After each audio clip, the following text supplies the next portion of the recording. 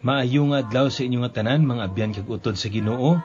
Magapakig-upod naman sa inyo sa siningation ang aton uh, palatuntunan sa kahanginan tinapay sa kabuhi. Nagapasalamat kita sa Iglesia sang Dawn Baptist Church nga naghatag sa aton sa pinasahi nga kagahinan nga mapahayag ang pulong sa Ginoo paagi sa aton family daily devotions. Gani, iama naton ang aton mga kaugalingon sa pagpamalandong naton sa pulong sa Ginoo paagi sa aton palatuntunan tinapay sa kabuhi. Tinapay sa buhi.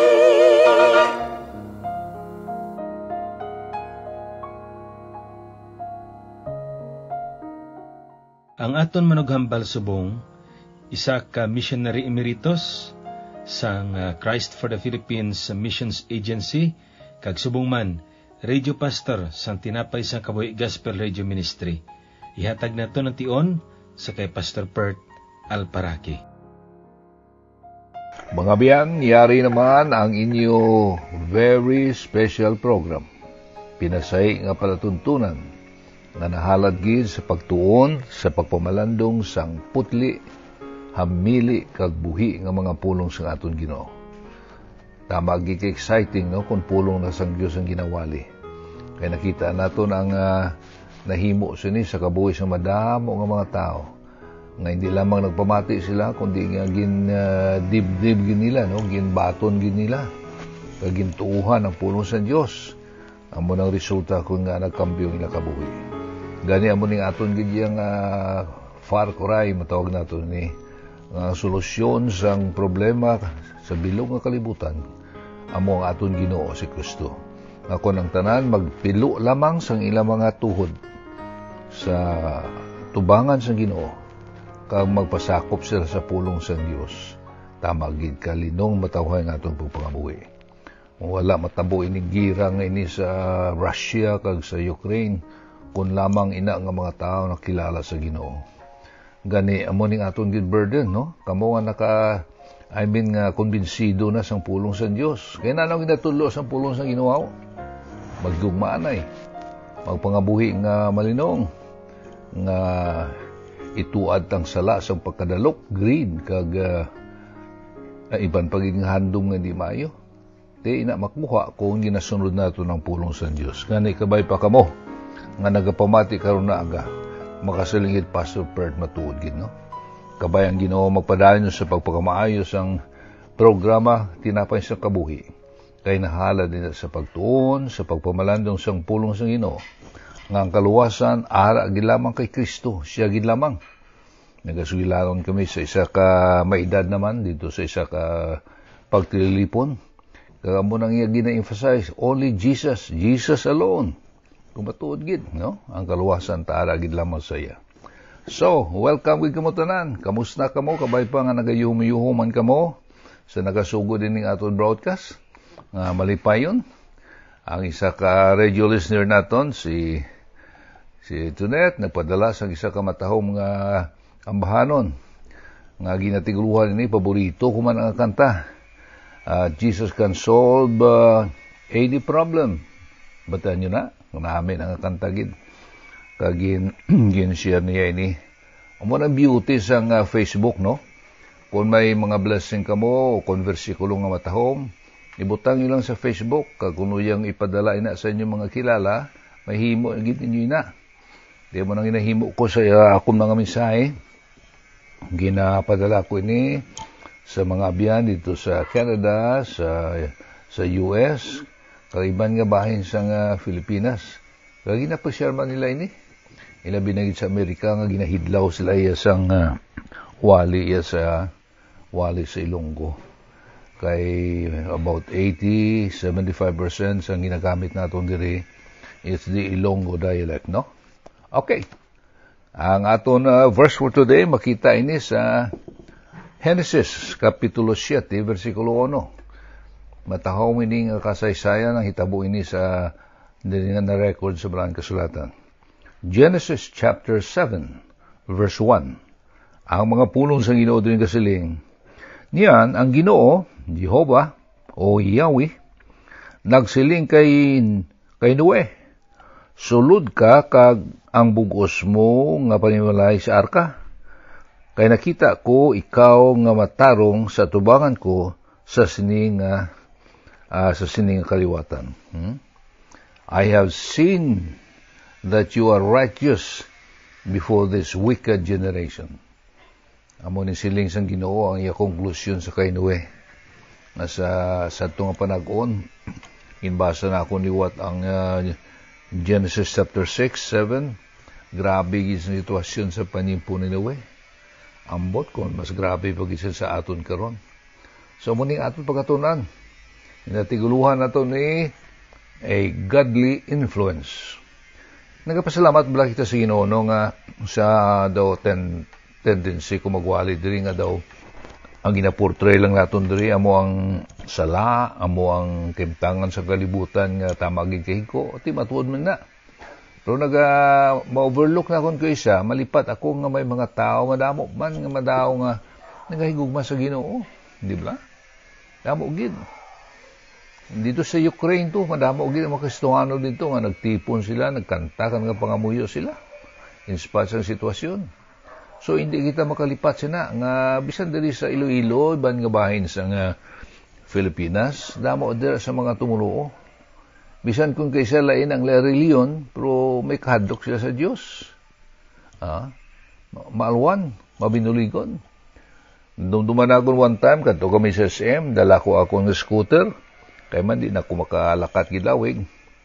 Ay, may motorized scooter ako. Kaya ginakarga ko lang ni sa likod sa salakyan kasi panaog naman. I-drive ko ni pakadto dito sa sa floor nga may ramp. Then makalibot-libot na ko sa kwan. Diyan, bilog nga SM na malibot ko na sa scooter ko. Pero pag abot na mo dito, nga libugulo na mo, kaya man mabugat na yung scooter ngayon mo. Masarangan man mo ni Mrs. Galing daw mabugat iway. Pero sang uh, naghana na kami nga makuan sa nimo panaog, hinali lang may isa dito ka young people nga babae ha nga nagpalapit kid.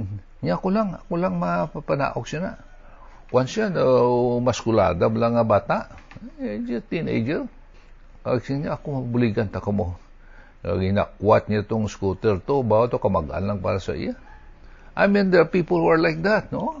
Ano mo na siling nakon nga let us not be discouraged. There are still a lot of kind-hearted people around nga mabinuligon nga may kahadlok sa Dios. Hindi lahat ang nato pag-iportray pero may ang may ko nga bagay kundi nga ang mga tao man nga may kahadlok sa Ginoo. Kita mo kung isa may mga mga taxi drivers, no? May malipatan lap sa hero sa uh, ilabag nga no, may sulod ni nga linibo damo kwarta. Pero gina-report nila why sila nag-take advantage nga bi ko na nila ni? Report nila na. Kag sugid nga mo ni may pasahero ako nga nabilin. Amo na ang mga tao mala kag ini sila mga tao ini ang uh, og naton nga sincero sila. Kay man ko nang imo tagipson na naghari dira amo ang greed kadalok mo la kag opportunista ikaw, di na tula, why na na? Why na chance na nga mauli pa nimo? So this morning, as we start our broadcast, we would like to congratulate all the God-fearing people sa sining kalibutan nga ni sa aton diri sa syudad sa Iloilo, sa bilog nga isla sa Panay, ay makahadlok sa Ginoo nga nagakilala gid nga ang Bible pulong sa Dios kag ginakabuhi nila ini, no? So gani, ah, uh, yutay na panugdaon, parte sa atong paghambalan karong adlaw. And uh, padayon kita sa pagpangamuyo sa aton bago lamang na pilian nga mga nga mga opisyal sa Banwa. ang aton presidente medyo ang ngalan nga Marcos iya daw may black spot na na iya daw batian nato ng ngalan nga Marcos gina-associate nato na sa mga bagay nga hindi mayo. Ang panagapray kita nga ining bata si Bongbong Marcos nga nagbulo si amay kabay pang uh, bawio niya no nga maislan ang imahin nga ginbilin sa nga amay nangod sa martial law kag iban pa gini ginhimo nila sa pag sa pagkuha uh, sang kwarta sang aton nga panguluhan. So let's pray for President Bongbong Marcos and the Vice President, President Inday Sara. Kag diri sa atong Iloilo, sa nagdaog naman ang atong mayor, the same, Mayor Trinas, kag ang tanan ni ara si dalom niya, kag iban nga mga mayor sa bilog nga gid nga Pilipinas. Kabay pang ang ginuugid, maghatag sing kaalam sa inyo sa pagdumala uh, sa aton nga pungsod. Nga maghatag kamo si mga sulundan. Kakabay gid, no? Kaya ginambalan na nato ni last time. Nga kung ano man ang iyong ginsaad sa nagligad nga eleksyon, sa nagkakampanya ka mo, dumdumon nyo gid nga uh, inyo gid uh, tumanon. Bisan mabulubudla ikaw, ha?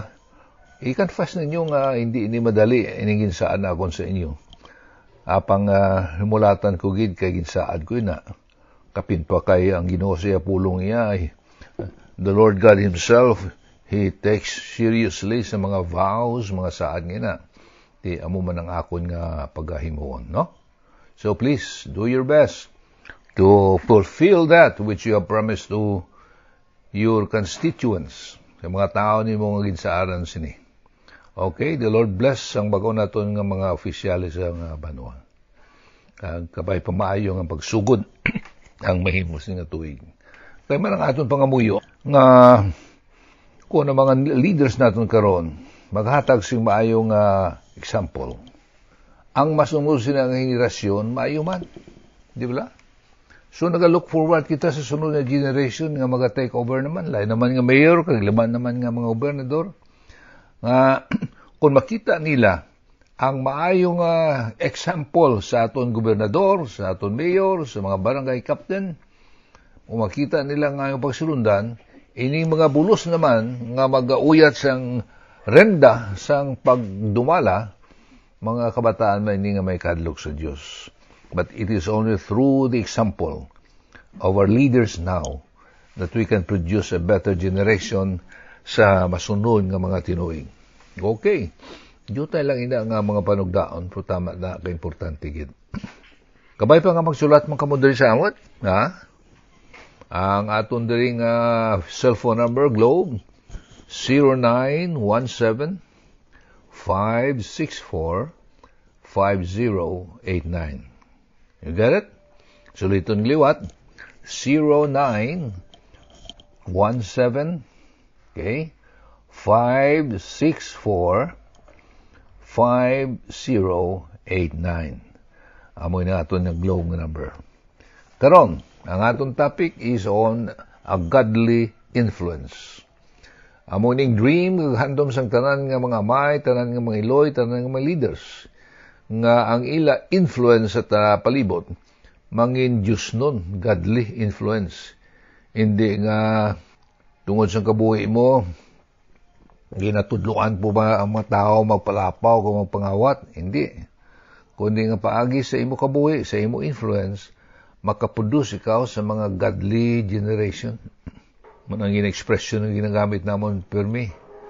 O nangagadamo ang bata mo, may God enable you to produce a godly generation, not an ungodly generation. So godly influence. Kaginbasa naton during aton text sa Genesis chapter 7 verse 1, nanood ini kay Noe, Noah, nga nagasiling ini suliton kuliwat niyan ang ginoo na siling kay Noe, ginoo gid. During that time, nagsugilanon ang ginoo. Si Yoba sa kay Noe. Ang nagsiling, sulod ka, kag ang bugos mo ka panimalay sa arka. You know the story about this, no? Gin pangabay niya si nga maghimo sa dako nga arka.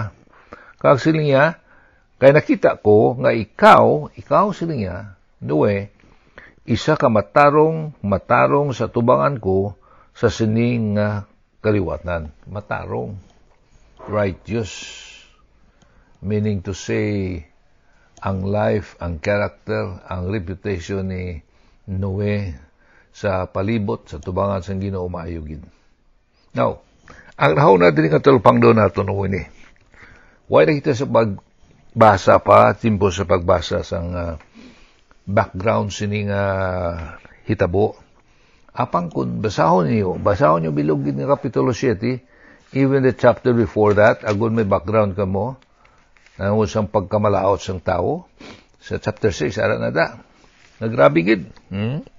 So, meaning to say nga ini si Noe, nagpangabuhi ini siya sa isa ka panag-on, period, nga grabe ang influence sa paghimo sang malain sa tungation. Ang iya mga kabataan, labi na mga bata niya, nagaatubang sang uh, dako nga desisyon sa ila kabuhi. Kaya amo ni problema kun kaysa sa mga kabataan ta nga madala sila sang uh, ano ini sang pangabuhi na sa mga tao sa tuanay. Ti ang kabataan ni Noe was facing a significant decision. In a world where everyone, halos sanan, they blatantly disregarded God, no? And wickedness was all over the place. Wickedness was the norm. Normal na. Amo ni kalaot sang panimpo ni sa panimpo ni Noe. Kaya ano ina ang tatlo ya kabata, si Shem, Ham, and Japet. Amo ni ilang natubang. Amo ni ilang barkada adlaw-adlaw. Di hindi mapos nga magsunod sila sa ginambal ni tatay nila kay kon sagwa na sila, puot sa ilang mga barkada, kung hindi sila mabakod ng Kristohanon, madala sila. So it was not an easy life. No? Sadto nga panimpo. Tiyahan, dira, ah, ah, ini katabo man ni sa inyo dira lugar, sa inyo barangay. Nga halos sanan nga mga kabataan da, mga su, mga sultiro, gaintra sa druga, sugal, tanan-tanan lang. Ti ikaw iya kristuhanon ka. Nagapangabuhi ka, nalibutan ikaw sa mga tao kaangay sila. Kagamu ini kabataan ni Noe, sa tatlo sila. Nalibutan sila sa klase sang pagpangabuhi nga daw ang pagpakasala. Yan normal na lang. Normal na lang sa ila ya. Normal na lang yung pagbinutig, normal na lang yung magpalapaw, normal na lang yung ang pag uh, pahubog da ako na naman, amoy na. Ha? Maybe no one or nobody probably uh, was the norm, Noah's children for living evil lives like the rest of the world. Hmm? Oh, nobody will condemn them. Ayan, ang nangatanaw dra palibot. Nga sila nga ti, ano mo na? Hindi tama na ma Mabasol ng kabataan ni Noena kay tiyo amo na sa palibot nila mo. Normal na lang ilang pagpangabuhi subong na mo. Mubala na, no? It's easy to do that. Kaya ti, the rest of the people, the rest of the world, most of them, they are living that kind of life. Ti, hindi man na rason. That is not enough reason nga uh, himuon nila sa mga kabataan. Hindi mo na yung mahimo nga balibad sa Diyos nga tungod abi sa eskwelahan nyo, mga classmate mo, mo na sila, naghahimo sila ng masala, te, masala kay tatay mo, kay nanay mo, tenon mo kayo, mga mga amigo ko niya, mo ni, kundi uh, upo na lang ko sa iya. No. That's not right. That is not right. That is not enough reason. Kaya mo ni mataho mga makita naton sa kabuhi sang tatlo kabata ni lalaki nga kabataan ni Noe. Si Shem, no, basa niyo na kung sino ni sila si Ham, kag si Japet. No? Tatlo ka bata, puro lalaki. Sa versikulo, kapitulo 6, versikulo 10, kag sinuwi amay sang tatlo ka anak lalaki, si Sem, si Ham, kag si Hafet. Puro lalaki. Why sa sing bata nga, nga babae, all, girl, all boys. Pero man sa ako niya, sa ako niya, puro babae ang kabataan akon, do kabilog, ay sing lalaki. Ha? Wala sing lalaki. Anyway, napasalamat yun siguro si Noe, no? We must be thankful to have a godly a godly influence. Kag ang iyaman kabataan gid, nagapasalamat gid sa Ginoo nga may amay sila nga may kahadlok sa Dios. Amo nang grabe nga influence gid mo bisan naano nga saway mo sa bata nimo, singgitan mo na sila adlaw-adlaw. Kung ikaw iyang amay, way man nimo ginakabuhi ang Dios nun nga pagpangabuhi. Ha? madakpan ka man sa kabataan mo nga nagapalapaw ka, nagabinutig ka, ilabi na sa negosyo mo, you cannot be a good influence. Pero sinuway lain, ang ginoogi nag-testify gid sa ginbasa naton kaina, no? Sa Kapitulo 7, nakita ko sining sa ginoo, ikaw nga matarong sa tubangan ko sa sining kaliwatan. Hindi lang nga tarong-tarong lang, kundi matarong gid si Noe. Ma uh, saligan ang iya character.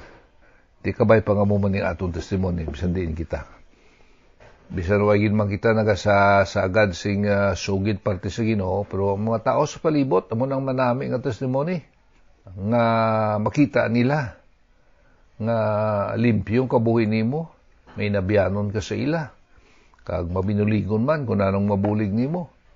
Amoy na manami nga testimony. That's the best and the most powerful uh, testimony that we can uh, we can have. Our lives ang kabuhita. Kaya karon te may mga tao yang uh, puti sa Biblia, puti man sa pulong sa Dios. Pero nabi na kay kibuloy na, ha? Nga nadakpan na sa dito sa Amerika by the government, US government, sa mga ginimo niya nga grabe gid. Di kung pawalihon mula na skibuloy, grabe man. Maayo man ang mga wali yung kundi siya. Pero gali kay sa likod sina, may maginhimo siyang mayo. And later on, gina, by, it's a matter of time, nga may warrant of arrest na, nga mag-abot, halin dito sa Amerika, i-submit na diri sa aton, and then our government will take action to arrest him and to try him in court. Kung bala, inatanan nga na-discoveryhan sa mga pulis dito sa Amerika, matuon na nangod sa iya on prostitution, ang paggamit sa mga kabataan sa pagpakilimos. Kang kwarta nga makuha nila, mo nang ginag natag na kay Kibuloy, mo nang nga nagmanggarano na gina si Kibuloy. Muna bala na, no? Pero hindi kita ma-discourage tungod lang kay pastor, ti, sa kapawali na nga mo, si Kibuloy. Hindi man na rason. No? Ang importante ya ang pulong.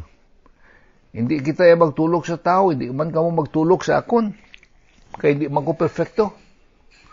Ang inyo ya pamatian lang ang pulong sa Dios. Binagbinago ninyo ang ginawali na akong diri. Nga makasiling ka mo, pastor, stugin na, mayo ng pulong sa Dios gid. Para sa akon. Kay kung tao ang aton nga ginatan, aw, masadad kita. Hmm? mahulog kita. Di, why man din gasiling, why man ko nagasiling sa inyo nga, okay lang ya, bisan ma-careless ako iya sa akong pangabuhi, basta pulo ginawa, pulo sa Diyos ginawali ko, okay lang na, hindi man. Kundi nagahimulat man ako, kag kami nga mga lagad sa Diyos, kami nga nagadala sini, ginakabuhi manamon ang pulong sa Ginoo. So here we are. When Noah asked his boys to help him build the ark, Anong tabo? They right away obeyed. Why na madamo pang uh, question? Pag siling ni tatay nila, Ham, Shem, Japet, pangita ka mo to sa mga kahoy nga gamito nato, ano ng kahoy ni Goper. Kag mga butang ba lang nga ginagamit ini in between sa kahoy nga na, nga mapilit ini nga bagay, agod nga tubi hindi magsulod.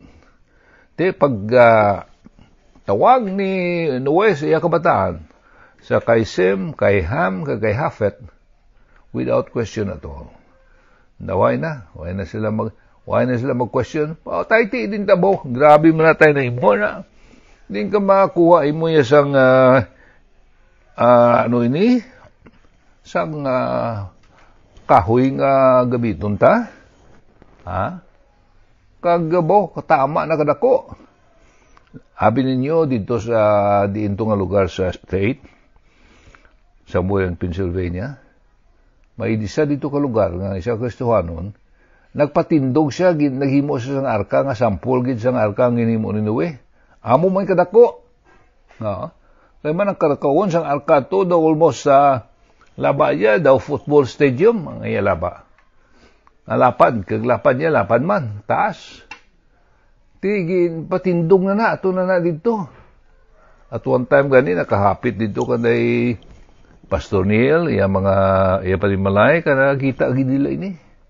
Bawa ka nami no. Amo gali ni kadako. Ang arka nga ginpahimo. Tanaw mo lang daw imposible. Di pero kaya ang Diyos yung nagsugo mo. Apati iya sinuwi nga, the Lord told me to build this. Hindi ko niya masarangan, pero kay siya nagsilinggit, naghambal sa akon, napatindugon ko ining arka, kay ang hindi naging magwanta ang ano ini, ang sala sa itong panimpo. And so these three boys, Shem, Ham, and Japheth, they choose to join their father. They just cooperate. Why na damo nga pamangkot? This is a wonderful testimony of Noah's godly influence. Tiyan mo nang uh, matabugid. Oh. Kung ikaw nga may, kita nila sa ibo, kabataan nga, ang influence nimo kabuhi mo iya, wala sing, wala kasing ginatago, ano si sa ila. Kung anong ipahimo nimo sa ila, wala na na sila ka-question. Hindi na, na sila magbais sa imo. But they would willingly obey and follow you because they respect you, they honor you because of the life you're living.